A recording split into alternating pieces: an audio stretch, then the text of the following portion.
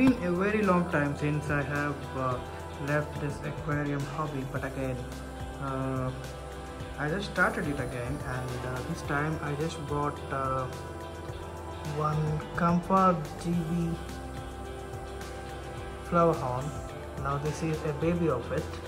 And yeah it's a very unique combination. I have put it with uh, zebra danios but zebra danios I bought 20 of them for the water cycling in the new aquarium and unfortunately two haven't survived.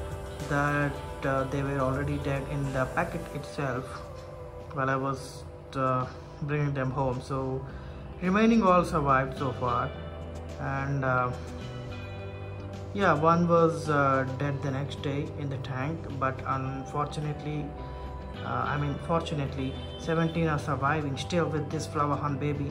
The reason I kept them with them with this flower horn is this it's a baby.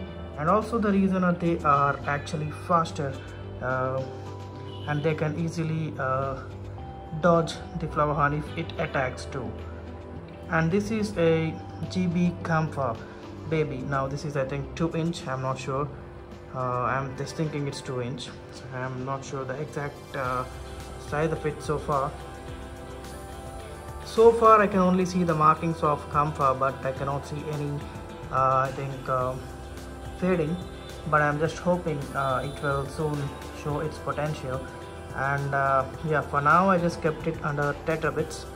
So let's see. And this tank is about uh, 3 feet and uh, yeah I think it's more than enough for this baby. And even if it is adult